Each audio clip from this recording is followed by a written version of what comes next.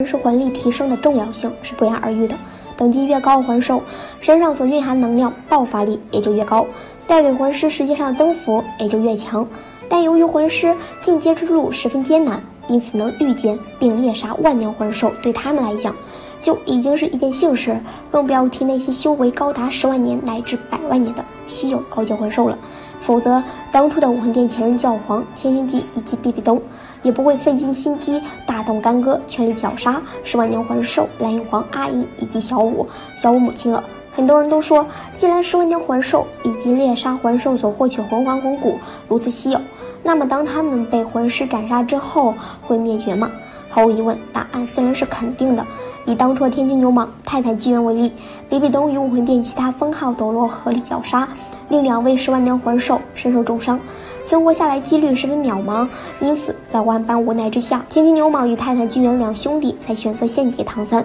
成为唐三昊天锤第一魂环以及蓝衣草第九魂环，助力对方直接双脚踏入封号斗罗阶级。也正是因为两位魂兽强者献祭，导致泰坦巨猿与天津牛蟒这个肘类魂师直接绝迹。再者便是抖音后期剧情中出现的深海魔鲸王，与魔魂大白鲨以及其他海洋魂兽种类不同，深海魔鲸王实力逆天，拥有九十九万年修为，整个大海之上也就只有这一只深海魔鲸王存在。唐三成就海神时，连续使用大须弥锤、大环等诸多底牌将深海魔鲸王斩杀。